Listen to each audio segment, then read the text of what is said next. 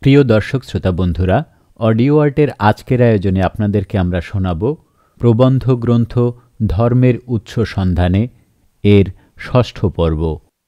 ধর্মের উৎস সন্ধানে গ্রন্থটি লিখেছেন ভারতের পশ্চিমবঙ্গের লেখক ডক্টর ভবানীপ্রসাদ সাহু। বইটি প্রকাশ করেছে পশ্চিমবঙ্গের প্রবাহ প্রকাশনী। আপনি যদি আমাদের চ্যানেলে নতুন হয়ে থাকেন, তাহলে এক্ষুনি সাবস্ক্রাইব করে নিন। আমাদের বই পাঠের কোনো পর্ব হারিয়ে ফেলতে না চাইলে বেল আইকনটিতে ক্লিক করে রাখতে পারেন। তো বন্ধুরা, চলুন শোনা যাক প্রবন্ধ গ্রন্থ ধর্মের উৎস সন্ধানে এর ষষ্ঠ পর্ব। খ্রিস্টপূর্ব সপ্তম শতাব্দী সময়কাল থেকে ভারতের উত্তর, পশ্চিম ও উত্তর অঞ্চলের সামাজিক ও অর্থনৈতিক সুস্থিতি বিনষ্ট হতে থাকে। যৌথ সম্পত্তি ব্যবস্থা ভেঙে পড়ে, ব্যক্তিগত সম্পত্তির বিকাশ ঘটতে থাকে। ছোট ছোট জনগোষ্ঠী তার স্বাধীন অস্তিত্ব হারাতে থাকে। বড় বড় রাজ্য তাদের অধিকার করে বৃহৎ সাম্রাজ্য গঠন করতে থাকে। এ অবস্থাকে বলা হয় মৎস্যান্যায়। যখন শক্তিশালী দুর্বলদের গ্রাস করে ফেলছে, যেন বড় মাছ গিলে ফেলছে ছোট মাছদের। ব্যবসায়িক ক্ষেত্রেও প্রতিযোগিতা বাড়ছে। মূলত গঙ্গা দিয়ে বাণিজ্যের প্রসার ঘটার ফলে।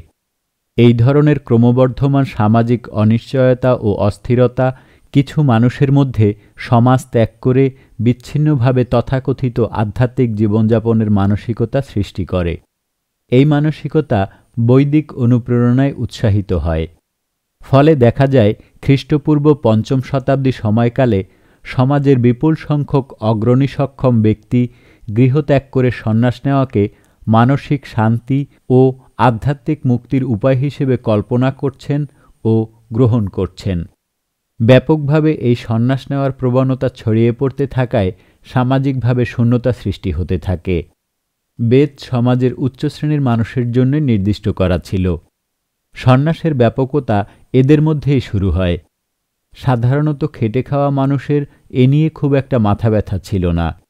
এর ফলে শাসক গোষ্ঠীর মধ্যেই এই শূন্যতা বিশেষ করে অনুভূত হতে থাকে। আর একে আটকাতে নেতৃস্থানীয় ব্রাহ্মণ পুরোহিতেরা উচ্চশ্রেণীর মানুষ তথা দ্বিজদের জন্য নতুন এক ধরনের প্রথার জন্ম দেন, যা চতুরাশ্রম নামে পরিচিত। জীবনের চারটি ভাগের কথা প্রচার করা হয়, ব্রহ্মচর্য, গার্হস্থ বানহস্ত ও সন্ন্যাস। এ ধরনের শৃঙ্খলার ফলে শুধুমাত্র বৃদ্ধ তথা অক্ষম ব্যক্তিদের জন্যই সন্ন্যাস গ্রহণের অনুমোদন দেওয়া হলো। হয়তো সবাই তা মানেননি, কিন্তু এই চতুরাশ্রমের সমর্থনে নানা ব্যাখ্যামূলক কথাবার্তা চালু হলো এবং যুবক, তরুণ বা সক্ষম ব্যক্তিদের মধ্যে সন্ন্যাসের প্রবণতা অনেকটা আটকানো গেল। বর্ণভেদ ও চতুরাশ্রম উভয়ে মিলে হিন্দু ধর্মের মূল্যবান, অবিচ্ছেদ্য বর্ণাশ্রম ধর্মের সৃষ্টি হল। এবং ধর্মের আবরণে সামাজিক শৃঙ্খলার নতুনতর দিকের জন্ম দেওয়া হল এবং বেদ পরবর্তী হিন্দু ধর্মের ব্রাহ্মণ্য অধ্যায়েরও সূচনা হল, যার উন্মেষ ঘটেছিল সংহিতা ও ব্রাহ্মণ গ্রন্থের পর্যায়ে। মূলত নিজেদের রচনা করা এই সব সাংবিধানিক নিয়মাবলীতে ব্রাহ্মণরা নিজেদের চূড়ান্ত ক্ষমতাশালী করে তুলল।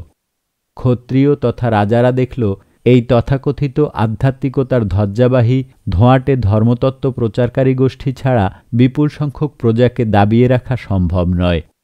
ব্রাহ্মণদের দ্বারা প্রজাদের মস্তিষ্ক আধ্যাত্মিক নেশায় আচ্ছন্ন করে রেখে ক্ষত্রিয়রা সহজেই রাজ্য শাসন করতে পারল। বর্ণভেদ প্রথায় এ অলস কাজের দায়িত্ব পেল শুধুমাত্র ব্রাহ্মণ। অনুগত অন্যরা এবং ব্রাহ্মণদের মধ্যে নারীরাও অলৌকিক শক্তির অনুগ্রহ লাভের জন্য ক্রিয়াকর্ম করার অধিকার থেকে বঞ্চিত হল।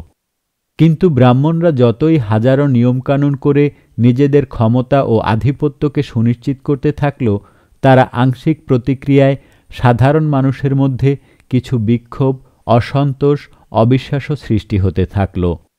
এর আঁচ পেয়ে উন্নত মেধাসম্পন্ন ব্রাহ্মণরা আরেকটি তত্ত্ব আবিষ্কার করল, যা হল কর্মফল ও পুনর্জন্মবাদ তত্ত্ব। বেদে আত্মার ধারণা ছিল, কিন্তু তা সুসংহত ছিল না। জন্মন্তবাদের তত্ত্ব আদিবেদে একেবারেই ছিল না। ভারতের আদিবাসী দ্রাবিড় ও মুন্ডাদের মধ্যে তথা প্রাগার্য তপস্বী সম্প্রদায়ের মধ্যে টোটেম ধারণার সঙ্গে সামঞ্জস্য রেখে এ জাতীয় কিছু চিন্তার আভাস ছিল। হিন্দু ধর্মের ব্রাহ্মণ্য পর্বে এই যে তত্ত্বের অবতারণা করা হলো তা সম্পূর্ণ চতুর্বর্ণ প্রথার পরিপূরক হিসেবে ও তাকে শক্তিশালী করার জন্য। কট মুন্ডক ইত্যাদি উপনিষদে স্পষ্টভাবে পুনর্জন্ম এবং তা আটকাতে ব্রহ্মজ্ঞান, আত্মাকে জানা, ধর্মানুসরণ ইত্যাদি কথা সুস্পষ্টভাবে বলা শুরু হল। অনেকের মতে এই কর্মফল ও জন্মান্তবাদের অপতত্ত্বটি যজ্ঞবাল্কের মস্তিষ্ক প্রসূত। সমগ্র ব্রাহ্মণ ও ক্ষত্রিয় সমাজ এই তত্ত্বকে লুফে নিল। একইভাবে কল্পিত অজ্ঞাত পুনর্জন্মে খারাপ কাজ বা পাপ কাজ করা হয়েছিল বলেই জীবনের দুর্দশা দারিদ্র বঞ্চনা ইত্যাদি এসবের পেছনে ব্রাহ্মণ, ক্ষত্রিয় তথা শাসক শ্রেণির কিছু করার নেই। এ ধরনের চিন্তা যদি আপামর জনসাধারণের মধ্যে গেঁথে দেওয়া যায়, তাহলে রাজার অস্তিত্ব আর ব্রাহ্মণের আধিপত্য অতি সুনিশ্চিত হবে, এতে আর আশ্চর্য কী? একইভাবে জীবনে নিপীড়িত, নিষ্পেষিত, হতদরিদ্র হয়েও ব্রাহ্মণ ক্ষত্রিয়ের তথা প্রভুর অক্লান্ত সেবা করলে, তাদের দান খয়রাত করলে, চরম ত্যাগ স্বীকার করলে, মৃত্যু পরবর্তী জীবনে অতীব সুখে দিনাতিপাত করা যাবে। এ ধরনের আশা যদি মানুষের মনে জাগিয়ে রাখা যায়, তবে জীবনের নানা দুর্দশা ভুলে থাকার পক্ষে তা বিরাট ফলপ্রসূ। বর্ণভেদ প্রথার সফল বিকাশের পক্ষে এই চরম মিথ্যাচার ও প্রতারণা অতি গুরুত্বপূর্ণ ভূমিকা পালন করেছে। ষোলকলা পূর্ণ করেছে হিন্দু ধর্মের, কিন্তু মানুষের অনুসন্ধিৎসা থেমে নেই। যদিও তুলনায় অনেক কম ও আশানুরূপ নয়, তবু এ সময়কালেই ভারতীয় অঞ্চলের চিকিৎসাবিজ্ঞা পদার্থ রসায়নবিদ্যা, অঙ্কশাস্ত্র ও জ্যোতির্বিদ্যার কিছুটা বিকাশ ঘটেছে। কিন্তু ব্রাহ্মণদের স্বার্থবিরোধী ছিল এই প্রকৃত বিজ্ঞান চর্চা। তাই এগুলিকেও ধর্মের নাম করে বিকৃত করা হয়েছে। আয়ুর্বেদের সঙ্গে ধর্মীয় তত্ত্বাবলী মেশাতে বাধ্য করা হয়েছে। জ্যোতির্বিদ্যার সঙ্গে কর্মফল ও অলৌকিকত্ব মিশিয়ে জ্যোতিষবিদ্যার মতো অপবিজ্ঞানের জন্ম দেওয়া হয়েছে। ব্রাহ্মণরা বেদকে শিরোধার্য করে সামনে রাখলেও প্রকৃতপক্ষে তাকে মাথায় তুলেই রাখা হয়েছে। চোখে দেখা হয়নি। চতুর্বর্ণ, কর্মফল, পুনর্জন্ম এসবের কোনোটিই ঋগ্বেদে ছিল না। বেদের বহু শ্লোকও আর অনুসরণ করার দরকার হয় না। বেদোত্তরকালে দার্শনিক উপলব্ধির মতো গালভরা নাম দিয়ে অলস মস্তিষ্কগুলি তাত্ত্বিক বিতর্ক আর কাল্পনিক তথ্যাবলীকে নিয়ে গুরুগম্ভীরভাবে সময় কাটাতে থাকে। জ্ঞানবিজ্ঞানের প্রকৃত চর্চার চেয়ে এ ধরনের নিষ্ফল গবেষণার মাধ্যমে প্রকৃত সামাজিক অর্থনৈতিক বিকাশ বাধাপ্রাপ্ত হয়। কিন্তু বিকশিত হয় নানা তত্ত্ব, যেমন বেদান্ত, মীমাংসা, সাংখ্য, যোগ, ন্যায়, বৈশেষিক। পরবর্তীকালে এ ধরনের বিভাজন ও মতবাদ আরও হয়েছে। কিন্তু সব কিছুকে ছাপিয়ে যায় ব্রাহ্মণ্য ধর্মের সামগ্রিক আবিলতা। ব্রাহ্মণদের চূড়ান্ত অনুশাসন ও সীমাহীন ক্ষমতা শাসক শ্রেণির মধ্যকার ক্রমবর্ধমান দ্বন্দ্ব ও জনসাধারণের মধ্যকার আংশিক বিক্ষোভ ও হতাশা সামাজিক ও নৈতিক বিকাশকে অবরুদ্ধ করতে থাকে। ফলে আবারও প্রয়োজন হয়ে পড়ে নতুনতর মতাদর্শের, যা তখনকার পরিবেশে নতুনতর ধর্ম ছাড়া আর কিছুই নয়। এর ফলেই সৃষ্টি হয় প্রতিবাদী বিকল্প ধর্মমত, বৌদ্ধ ও জৈন ধর্ম, খ্রিস্টপূর্ব ষষ্ঠ ও পঞ্চম শতাব্দী সময়কালে। পরবর্তী কয়েকশো বছর ধরে এই নতুন ধর্মের নবীন, নৈতিক ও মানবিক নির্দেশাবলী ক্রমশ জনপ্রিয় হতে থাকে। মৌর্যদের মতো বেশ কিছু রাজাও তাদের গ্রহণ করেন। স্বাভাবিকভাবে ব্রাহ্মণ্য ধর্ম এই সব ধর্মমতের সঙ্গে প্রতিযোগিতায় ও প্রতিরোধে লিপ্ত হয়। এর প্রতিক্রিয়ায় ব্রাহ্মণ্য ধর্ম তার নিজের রূপান্তর ঘটাতেও বাধ্য হয়। সূচনা হল আধুনিক হিন্দু ধর্মের। বেদ পরবর্তী কয়েক শত বছরের ঈশ্বরোপাসনা ও ধর্মচারণ মূলত কুহিগত হয়েছিল ব্রাহ্মণদের মধ্যে। অথচ ব্যাপক মানুষের কাছে দৃঢ় বিশ্বাসের কারণে এগুলো ছিল শান্তিদেয়ী ও একান্ত কাম্য। কিন্তু বৌদ্ধ ও জৈন ধর্মে যে উদারনীতির কথা প্রচার করা হলো, ফলে একই সঙ্গে জনগণের মধ্যে নিজের ক্ষমতা বজায় রাখা ও বর্ণভেদ প্রথাকে টিকিয়ে রাখার জন্য ব্রাহ্মণ্য ধর্মকেও উদার ও গণতান্ত্রিক হতে হল। ব্রাহ্মণরা শুধু নয়, সাধারণ মানুষের অবরুদ্ধ ধর্মীয় আবেগের দ্বার খুলে দেওয়ার জন্য তাদেরও অনুমতি দেওয়া হলো প্রকাশ্যে পূজা, ধর্মানুষ্ঠান ইত্যাদি করার। এরই অন্যতম হল দেবতার নামে মন্দির প্রতিষ্ঠা, ভারতবর্ষে সেই প্রথম, যে মন্দিরে আপামর জনসাধারণ ধর্মীয় অনুষ্ঠানে যোগ দিতে পারবে। যদিও তার মূল নিয়ন্ত্রণ করবে ব্রাহ্মণরাই এর আগে ভারতে ওই অর্থে মন্দির ছিল না, যা ছিল তা হল বৌদ্ধদের চৈত্য। এর আগে ভারতে বৈদিক বা ব্রাহ্মণ্য পর্বে কোনো দেবদেবীর মূর্তিও ছিল না। প্রকৃতপক্ষে উত্তর ভারতে অষ্টম শতাব্দীর আগে হিন্দুদের নিজস্ব কোনো মন্দিরই ছিল না। পরবর্তীকালে চৈত্যের অনুকরণে চমক লাগানো স্থাপত্য তৈরি হল। নাম দেওয়া হল মন্দির। আর ব্রহ্ম বা নৈর্ব্যক্তিক দেবদেবীর নয়। সাধারণ মানুষের ধরা ছোঁয়া দেখার মধ্যে নিজেদেরই মতো করে কল্পিত হল দেবদেবীর মূর্তি। তাদের প্রতিষ্ঠা করা হলো ওই মন্দিরে। নানা রকম জাঁকজমকপূর্ণ নিয়মকানুনের মধ্য দিয়ে দৃষ্টি, শ্রুতি ও আবেগকে নাড়া দেওয়ার নানাবিধ অনুষ্ঠানের মাধ্যমে সাধারণ মানুষ যাতে ঈশ্বর, দেব, অলৌকিক শক্তির কাছে সরাসরি হাজির হতে পারে তার ব্যবস্থা করা হলো। এখনও মাধ্যম থাকল ওই ব্রাহ্মণরা। কিন্তু আগে যেমন পুজো করার একমাত্র অধিকার ছিল ব্রাহ্মণের, এখন ব্রাহ্মণের মাধ্যমে সাধারণ মানুষও পূজা দিতে পারল। ব্রাহ্মণ্য পর্বের আংশিক গণতন্ত্রীকরণই হিন্দু ধর্মের সাম্প্রতিক রূপ। যদিও সময় সময়ে আরও বিকশিত, বিবর্তিত, পরিবর্তিত হয়েছে। এরই ফলশ্রুতি নানা পুরাণ রচনা।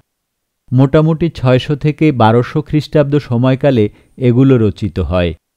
বেদে যে কল্পিত উপায়াদির সাহায্যে ঐশ্বরিক শক্তিকে সন্তুষ্ট ও করায়ত্ত করার কথা বলা হয়েছিল, সেগুলি উচ্চবর্ণের মানুষেরা সাধারণ মানুষদের ছুঁতে দিত না।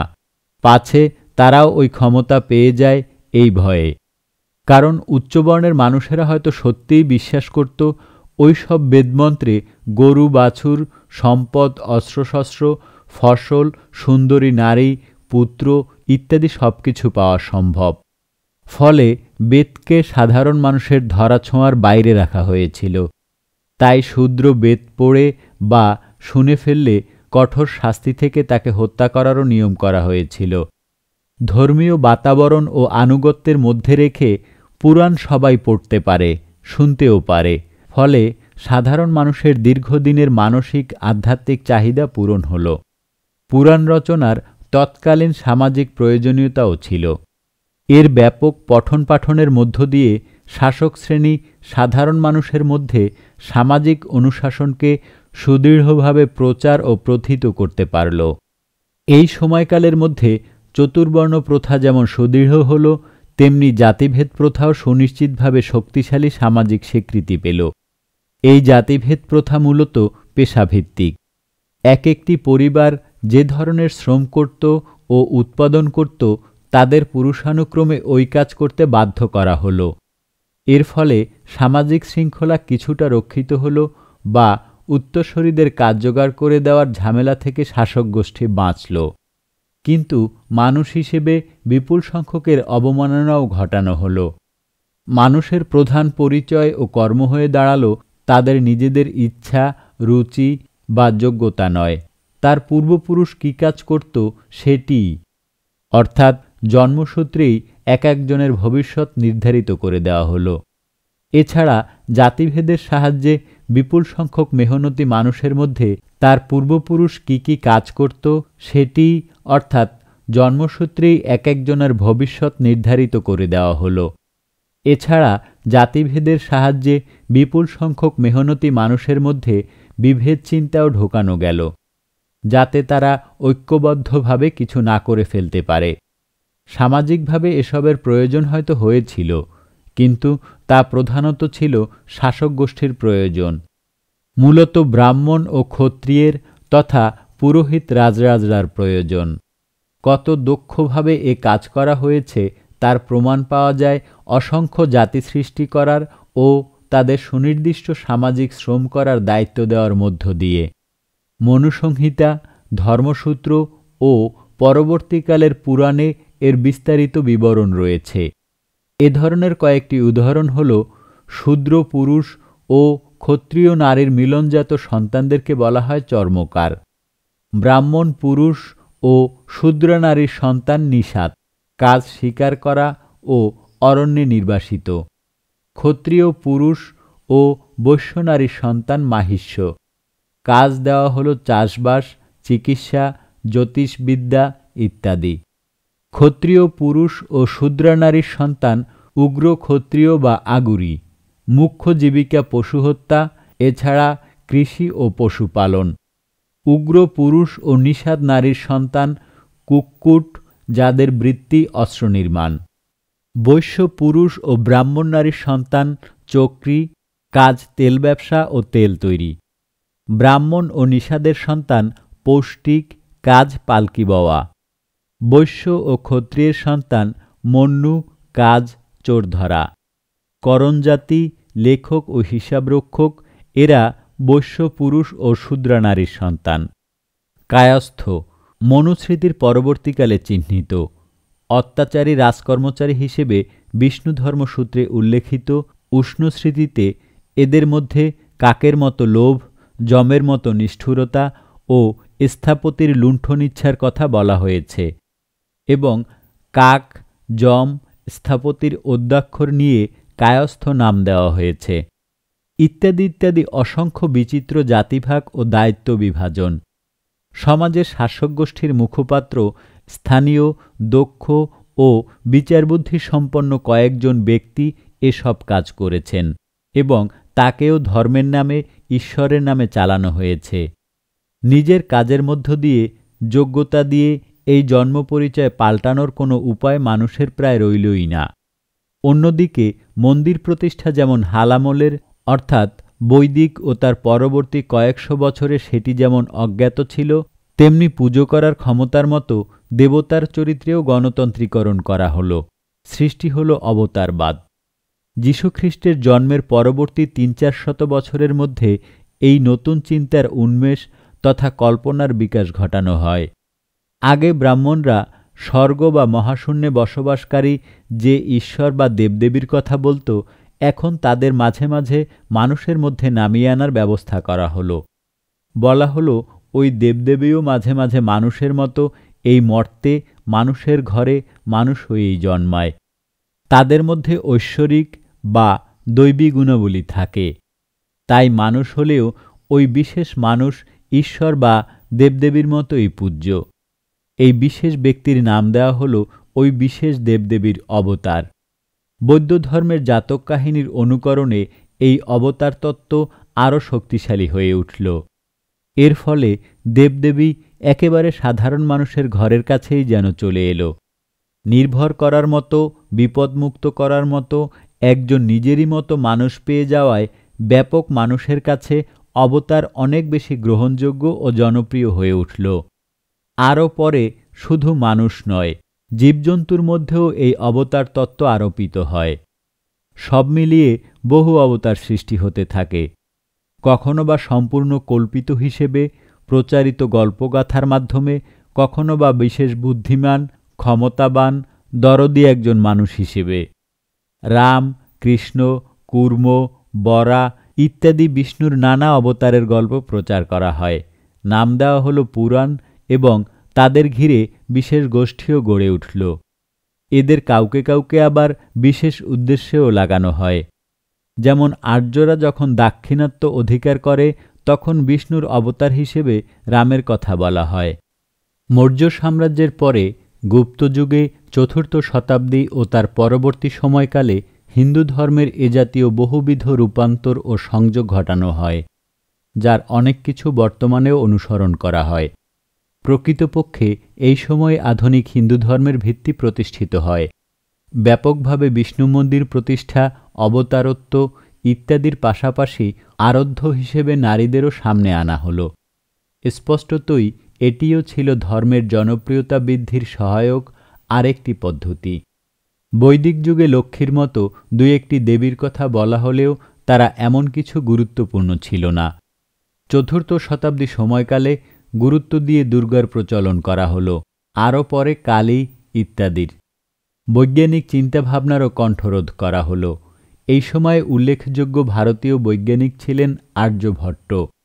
পায়ের মান নিরূপণ পার্থিব বছরের সময়কাল নির্ণয়, পৃথিবীর ঘূর্ণয়ন চরিত্র ও গোলাকৃতি সম্পর্কে ধারণা, পৃথিবীর ছায়া পড়ে চন্দ্রগ্রহণ হওয়ার ঘটনা, জ্যোতির্বিদ্যাকে জ্যোতিষ ও অঙ্ক থেকে আলাদা একটি শাখা হিসেবে প্রতিষ্ঠা করার মতো গুরুত্বপূর্ণ বৈজ্ঞানিক আবিষ্কার ও নানা রকম কাজকর্ম তিনি করেন। কিন্তু এর ফলে হিন্দুদের গোড়া অবৈজ্ঞানিক নানা ধ্যানধারণার ভিত্তি কেঁপে ওঠে।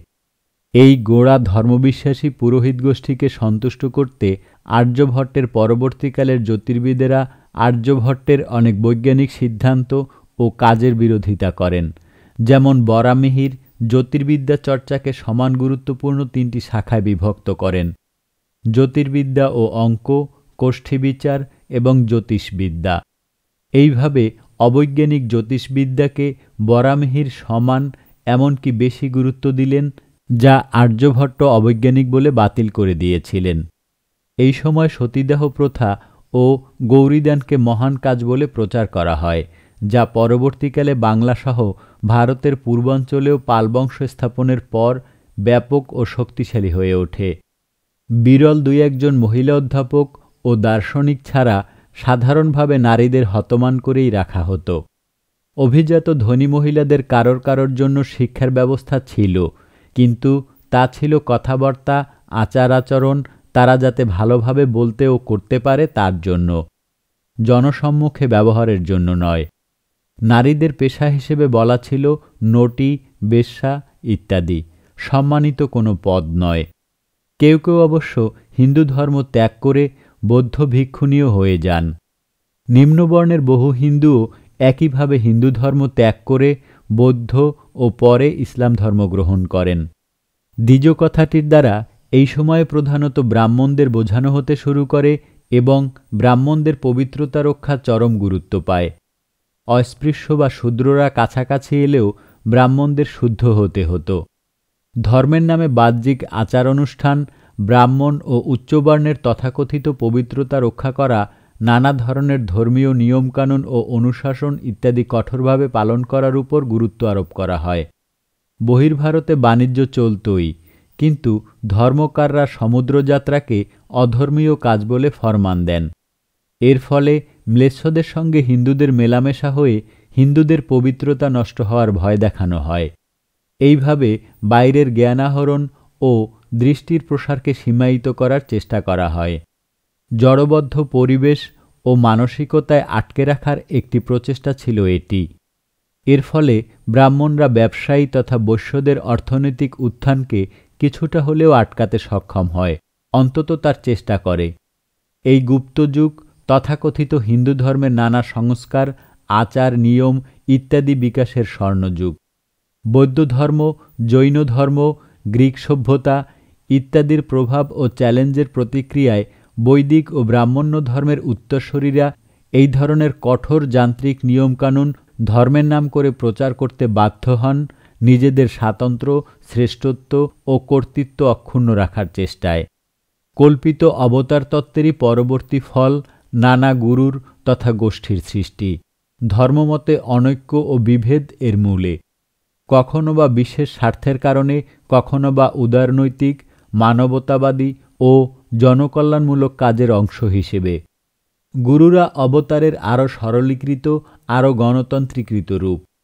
এক একজন গুরু এক একটি দেবতা তথা অবতারের প্রতিনিধি হয়ে উঠল। মানুষের মধ্যে বাস করে ধর্মোপদেশ দেওয়া থেকে শুরু করে নৈতিক মূল্যবোধ জাগানো পর্যন্ত নানাবিধ কাজই সে করল। হিন্দু ধর্মের এই বিকশিত নানাবিধ দিকের সঙ্গে নানা সময় মিশেছে আরও অজস্র দিকও। এসেছে আদিম গোষ্ঠীর থেকে জীবজন্তুর পূজা, সৃষ্টি হয়েছে গণেশ পূজা, সর্প পূজা, হনুমান পূজা ইত্যাদি ইত্যাদি। কখনো বা কৃষিভিত্তিক সমাজে অর্থনৈতিক কারণে জন্ম নিয়েছে গরুকে দেবতা ভেবে পূজা করা, প্রকৃত অর্থে সংরক্ষণ করা, যাতে ঋষিমুনিষি ও অন্যদের দ্বারা ব্যাপকভাবে গোমাংস ভক্ষণ আর বলি দেওয়া, উৎসর্গ করা ইত্যাদির জন্য ব্যাপক গোহত্যা বন্ধ করা যায়।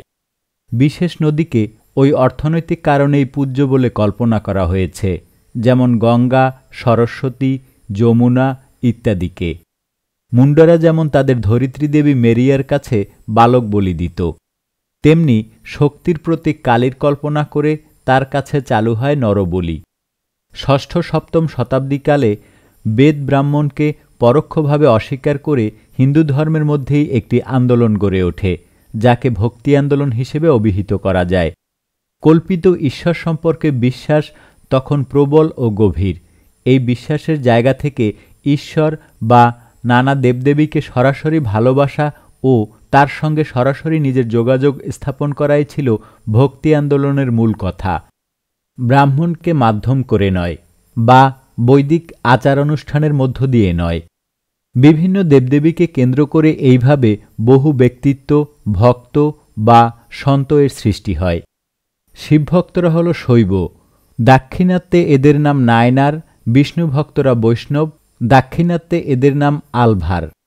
মিথ্যা অন্ধবিশ্বাসের প্রাবল্যে এসব ভক্তের কেউ কেউ মানসিক অসুস্থতার শিকার হতেন এবং নানা অবাস্তব অভিজ্ঞতা লাভ করতেন এবং এখনও করেন, যেমন কালী, শিব কৃষ্ণের বা রাধার দেখা পাওয়া, কৃষ্ণের বাঁশি বা পায়ের নুপুরের শব্দ শোনা, দেবতার হাতের ছোঁয়া পাওয়া ইত্যাদি।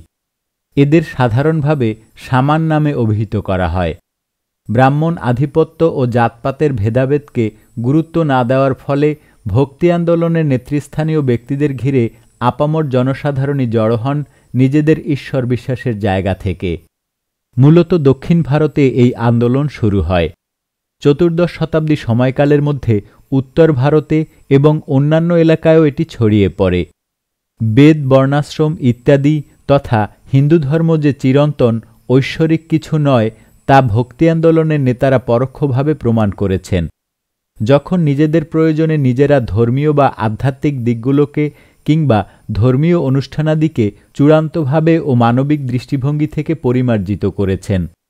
রাজপুত রানী মীরাবাই আগ্রার অন্ধকবি মুরদাস, কাশ্মীরের লালা, পশ্চিম ভারতের কবির ও নানক, পূর্ব ভারতের চৈতন্য ইত্যাদি বহু ব্যক্তি বিভিন্ন সময় নিজের মতো করে এই আন্দোলনের কথা বলেছেন বা নেতৃত্ব দিয়েছেন। সম্প্রতি গদাধর বা শ্রীকৃষ্ণ এই ভক্তিমানসিকতার ধারাবাহিকতায় সৃষ্টি, বিশেষ সামাজিক পরিবেশে ও প্রয়োজনে। নানা ক্ষেত্রে ভারতে আগত ইসলাম ধর্মাবলম্বীদের শিয়া গোষ্ঠী থেকে সৃষ্টি হওয়া সুফিদের সঙ্গে এই ভক্তি আন্দোলনের নেতাদের মানসিকতার মিল রয়েছে। এই মিল থাকার কারণে সুফি ও তাদের বিভিন্ন প্রচারক বা বিভাগ হিন্দু ধর্মাবলম্বীদের একাংশের কাছে গ্রহণযোগ্য হয়েছে। ভক্তি আন্দোলনের অধিকাংশ নেতাই নিজেদের অবতার ইত্যাদি নামে অভিহিত না করলেও পরবর্তীকালে তাদের অন্ধভক্তরা নিজেদের সম্মান ও শ্রেষ্ঠত্ব প্রতিষ্ঠার জন্য তাদের উপর অবতারত্ব আরোপ করেছে। অবশ্য এদের মধ্যে দুই একজন ব্যতিক্রমও ছিলেন, যারা নিজেরাই নিজেদের অবতার হিসেবে হাজির করেছেন ও প্রচার করতেন। কেউ বলেছেন তিনি বিষ্ণুর অবতার, যেমন অমুক ঠাকুর আর তমুক ঠাকুর মিলিয়ে তিনি, যেমন রাম আর কৃষ্ণ।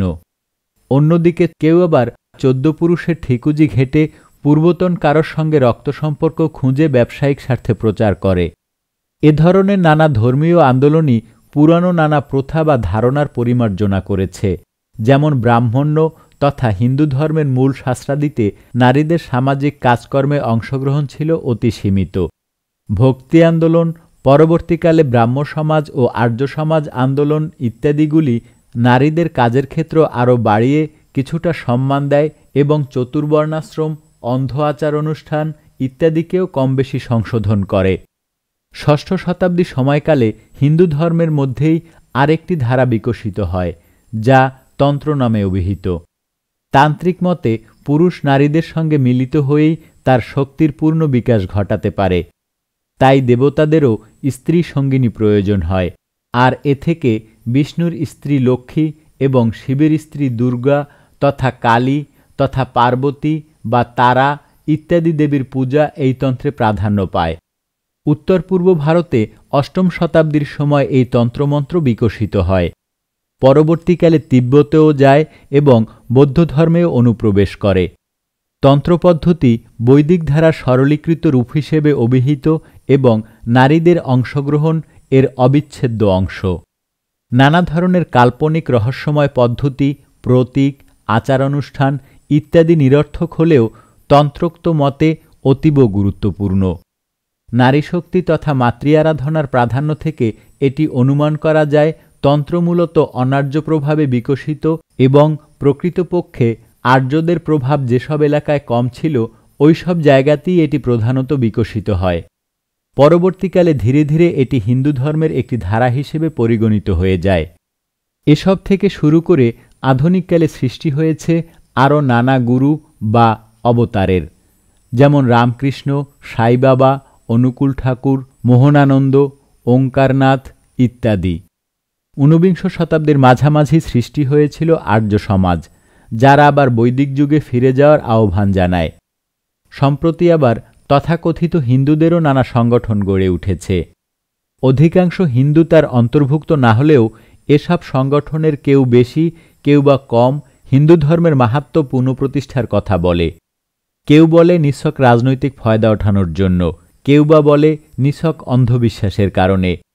কিন্তু এরাও বেদ বা উপনিষদ বা মনুসংহিতা বা পুরাণের নানা তত্ত্বের কোনটি বাদ দিচ্ছেন, কোনটি রাখছেন তা স্পষ্ট করে বলেন না। তবে এটি স্পষ্ট যে সবকটাকে মানা সম্ভব নয়, কারণ ঋগ্বেদ মানতে গেলে চতুর্বর্ণ মানা চলবে না, কিংবা অথর্ববেদ মানলে কুষ্ঠযক্ষা হলে বা সাপে কামড়ালে হাসপাতালে যাওয়া চলবে না। যজুর্বেদ মানতে গেলে গরুর মাংস তো খেতে হবেই, ব্রাহ্মণদের নিমন্ত্রণ করেও খাওয়াতে হবে। মনুসংহিতা মানতে গেলে কোনো অব্রাহ্মণ ব্রাহ্মণের চুল ধরলে তার হাত কেটে ফেলতে হবে কিংবা সব ব্রাহ্মণকে অবশ্যই বেদ পাঠ করতে হবে। ক্ষত্রিয় ছাড়া অন্য কাউকে মন্ত্রী বা পঞ্চায়েত প্রধান করা চলবে না, শূদ্র ছাড়া আর কারোর চাকরি করা চলবে না, ইত্যাদি ইত্যাদি। কারণ মনুসংহিতায় একমাত্র শূদ্রবর্ণের জন্যই অন্য তিন বর্ণের সেবা করার কাজ সংরক্ষণ করা হয়েছে। হিন্দু ধর্ম উৎস বিচারে গত প্রায় সাড়ে তিন হাজার বছর ধরে বিকশিত হয়েছে। তার নানা কিছু আজ গোড়া হিন্দুরাও অনুসরণ করেন না। আবার বিশেষ কিছু ঘটনা বিশেষ উদ্দেশ্যে কেউ কেউ ব্যবহার করে, এমনকি রাজনৈতিক ক্ষমতা লাভের জন্য। অন্য ধর্মের মতো হিন্দু ধর্মকেও শাসক শ্রেণি বারবার নিঃস্বার্থে ব্যবহার করেছে এবং সম্প্রতি একইভাবে রাজনৈতিক ক্ষমতা লাভের জন্য কিছু ব্যক্তি সাধারণ মানুষের ধর্মবিশ্বাসকে কাজে লাগাচ্ছে, মানুষকে প্রতারিত করছে। এগুলো এটিও প্রমাণ করতে যথেষ্ট যে অন্য ধর্মের মতো হিন্দু ধর্ম মানুষেরই সৃষ্টি, তার নিজেরই প্রয়োজনে। নানা মানুষ নানাভাবে এর যে পরিমার্জনা করেছেন, নানা গোষ্ঠী ও দলের সৃষ্টি করেছেন, তার তালিকাও বিশাল।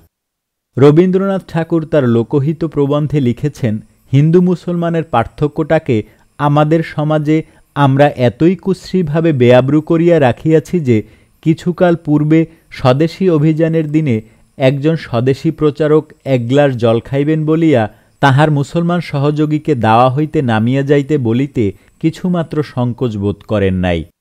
আমরা বিদ্যালয় ও অফিসে প্রতিযোগিতার ভিড়ে মুসলমানকে জোরের সঙ্গে ঠেলা দিয়াছি, এটা সম্পূর্ণ প্রীতিকর নহে তাহা মানি।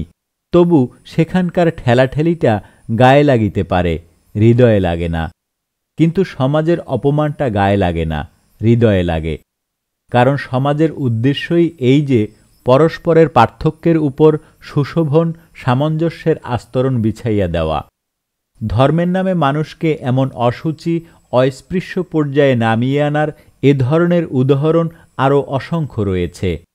সবার উপরে মানুষ সত্য এই বিশ্বমানবিক সত্যকে উপেক্ষা করাটা তখনই সহজ হয়ে ওঠে যখন মানুষের প্রধান পরিচয় হয়ে দাঁড়ায় তার ধর্মবিশ্বাস, অন্য কোনো গুণাবলী নয়। ভারতের বহু হিন্দু ধর্মাবলম্বীরা এরকম নির্লজ্জ ব্যবহারে পুরুষানুক্রমে অভ্যস্ত। বিগত সপ্তম অষ্টম শতাব্দীতে এদেশে যখন মুসলিম অনুপ্রবেশ শুরু হয়, তারপর থেকেই ধীরে ধীরে তাদের সম্পর্কে এ ধরনের ধর্মানুমোদিত মানসিকতার প্রচার শুরু করা হয়। প্রথমত হিন্দু ধর্মের ধ্বজাদারী সমাজপতিরা নিজেদের অস্তিত্ব সুরক্ষিত করতে ভিন্ন ধর্মাবলম্বীদের ঘৃণ্য, অস্পৃশ্য বলে অভিহিত করতে হয়তো বাধ্যই হয়। মনুসংহিতা তথা ব্রাহ্মণ্য ধর্মের অন্যান্য সাংবিধানিক বিবৃতিতে বিশেষত শূদ্রদের সম্পর্কে এ ধরনের মানসিকতার পরিমণ্ডল ছিলই। ফলে নিজেদের স্বাতন্ত্র্য ও শ্রেষ্ঠত্ব বজায় রাখার জন্য মুসলিমদের সম্পর্কেও এমন ধারা প্রচার নতুন করে অমানবিক ও বেহায়াপনা হিসেবে সাধারণভাবে মনে হয়নি।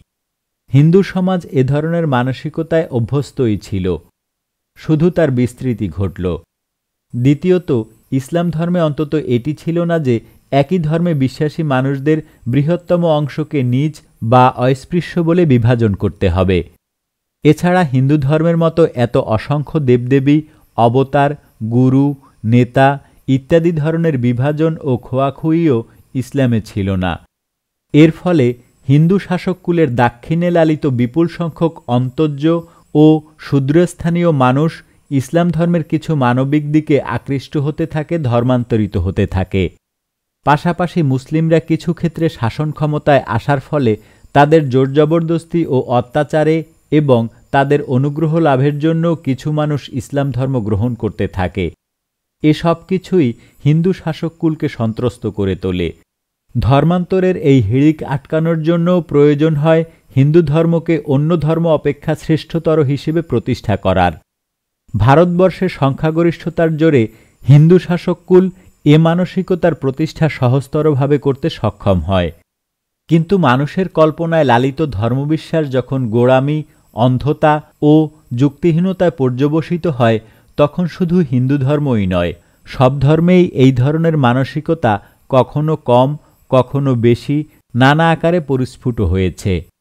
ব্যাপারটি শুধু হিন্দু শাসককুলের একচেটিয়া নয়। কোনো কোনো ধর্মে নিজস্ব উদারতা সত্ত্বেও এই গোড়ামি ভিন্ন ধর্মাবলম্বীদের প্রতি আচরণের বর্বরতা পর্যায়ে পৌঁছেছে।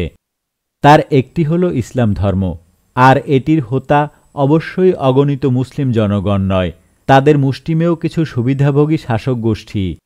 রবীন্দ্রনাথেরই ভাষায় পৃথিবীতে দুটি ধর্ম সম্প্রদায় আছে, অন্য সমস্ত ধর্মের সঙ্গে যাদের বিরুদ্ধতা অত্যুগ্র। সে হচ্ছে খ্রিস্টান আর মুসলমান ধর্ম। তারা নিজের ধর্মকে পালন করেই সন্তুষ্ট নয়, অন্য ধর্মকে সংহার করতে উদ্যত। এই জন্য তাদের ধর্ম গ্রহণ করা ছাড়া তাদের সঙ্গে মেলবার অন্য কোনো উপায় নেই। অপরপক্ষে হিন্দু জাতীয় এক হিসেবে মুসলমানদের মতো, অর্থাৎ তারা ধর্মের প্রকারে পরিপূর্ণ পরিবেষ্টিত। বাহ্য প্রভেদটা হচ্ছে এই যে, অন্য ধর্মের বিরুদ্ধতা তাদের পক্ষে অকর্মণ্য নয়। অহিন্দু সমস্ত ধর্মের সঙ্গে তাদের অনভায়োলেন্ট অন কোঅপারেশন ধর্মমতে হিন্দুর বাধা প্রবল নয়। আচারে মুসলমানের বাধা প্রবল নয়, ধর্মমতে প্রবল। আর এইভাবেই অত্যগ্র ধর্মান্ধতার জন্য ইসলাম ধর্ম প্রকৃতপক্ষে হিন্দু ধর্মের আরেক পিঠের ভাই। বিশ্বাসী মানুষের সংখ্যা বিচারে ভারতের তথা পৃথিবীর দ্বিতীয় বৃহত্তম ধর্ম হল ইসলাম। তার এই অত্যুগ্রতার বহিঃপ্রকাশও হয়ে চলেছে অবিরামভাবে। মধ্যপ্রাচ্য থেকে বাংলাদেশ, সলমান রুশদি থেকে তসলিমা নাসরিন ছড়িয়তি আইন ও বস্তাপচা মৌলবাদী মানসিকতা নানা ক্ষেত্রে ছড়িয়ে আছে এই উগ্রতা। এবং সেখানেও একইভাবে ভুলে যাওয়া হয় যে মানুষের কল্পনার সন্তান ও মানুষের প্রয়োজনে লালিত সেই ঈশ্বরকে কেন্দ্র করে মানুষেরই বিশেষ প্রয়োজনে যে ধর্মমত গড়ে তোলা হয়েছে, সেটির পরিবর্তন ও বিলুপ্তি একদিন মানুষের প্রয়োজনে হতেই পারে, যা হিন্দু খ্রিস্টসহ সব ধর্মের ক্ষেত্রে সত্য। এই প্রয়োজন বিভিন্ন ক্ষেত্রে বিভিন্ন ধর্মের দ্বারা বিভিন্নভাবে মেটানো হয়েছে। আর এরই কারণে হিন্দু ধর্ম ও ইসলাম ধর্ম এদের মধ্যে গুণগত কিছু পার্থক্যও রয়েছে। স্বাভাবিকভাবে, এর জন্য কোন ধর্ম ভালো বা খারাপ, এ ধরনের বিচার বালখিল্য সুলভ প্রয়াস মাত্র। হিন্দু ধর্মের ঐতিহাসিক প্রেক্ষাপট পূর্বে কিছু আলোচনা করা হয়েছে। তেমনি ইসলাম ধর্ম মানুষ কীভাবে সৃষ্টি করেছে, তার শাসককুল কীভাবে অগণিত সাধারণ মুসলিমদের শাসন করার জন্য এই ধর্মবিশ্বাস কাজে লাগিয়েছে তার সংক্ষিপ্ত ঐতিহাসিক পরিচয় যদি বিপুল সংখ্যক নিপীড়িত মানুষ হৃদয়ঙ্গম করেন, তবেই বাহ্যিক অন্ধতা ও অত্যুগ্র আচরণকে যুক্তিহীন বলে বোঝা যেতে পারে। বন্ধুরা, আজকে তাহলে এখানেই শেষ করছি। কথা হবে পরবর্তী পর্বে। ততক্ষণ সবাই ভালো থাকুন, সুস্থ থাকুন। আপনার সন্তানের হাতে খেলনা হিসেবে বন্দুক পিস্তল না দিয়ে তার হাতে সুন্দর সুন্দর বই তুলে দিন। বই পারে আমাদের অন্ধত্বকে ঘুচিয়ে, আমাদের ভেতরের মনুষ্যত্বকে জাগিয়ে তুলতে। সবাই ভালো থাকুন, সুস্থ থাকুন, আজকের মতো শুভ বিদায়।